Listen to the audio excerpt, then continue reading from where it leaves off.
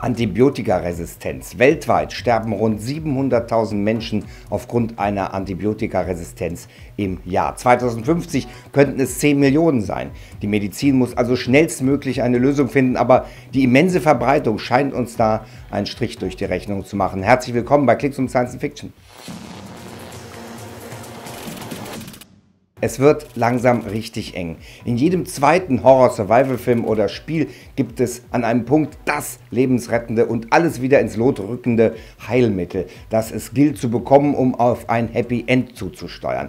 Im echten Leben war bisher oft das letzte Mittel, wenn nichts anderes mehr geholfen hat, ein Antibiotikum. Im Laufe der Zeit wurde die Wirkung dieses Wirkstoffes aber oftmals einfach nur ausgenutzt, um in möglichst kurzer Zeit wieder voll belastbar zu sein. Ärzte werden zunehmend von Eltern zum Verschreiben von Antibiotika für deren an einer leichten Grippe erkrankten Kinder gedrängt.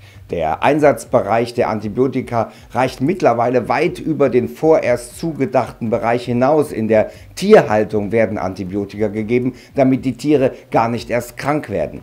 Die Antibiotikaresistenzen sind so weit gestreut wie noch nie zuvor. Forscher der Chinesischen Akademie der Wissenschaft haben jetzt ziemlich Erschreckendes entdeckt. Entlang einer zusammengenommen vier Kilometer langen Küstenlinie in der Nähe von Flussmündungen haben sie ein bisher unbekanntes Ausmaß der Resistenzen feststellen müssen.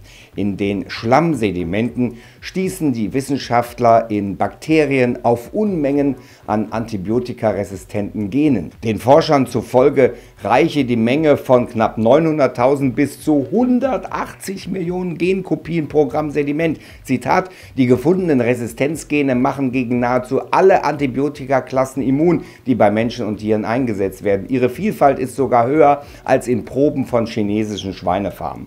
Auch Gene, die gleich gegen mehrere Antibiotikaklassen resistent machen, waren häufig und in vielen Varianten vorhanden, so die Experten der Chinesischen Akademie der Wissenschaften. Wie schon anfangs gesagt, es wird eng. Was machen wir denn, wenn wir nichts und niemandem mehr helfen können? Was sagt ihr dazu? Ab in die Kommentare und hier könnt ihr mir ein Abo aufs Auge drücken und einen auf die Glocke geben. Bis dann. Bleibt dran und das nächste Video gucken.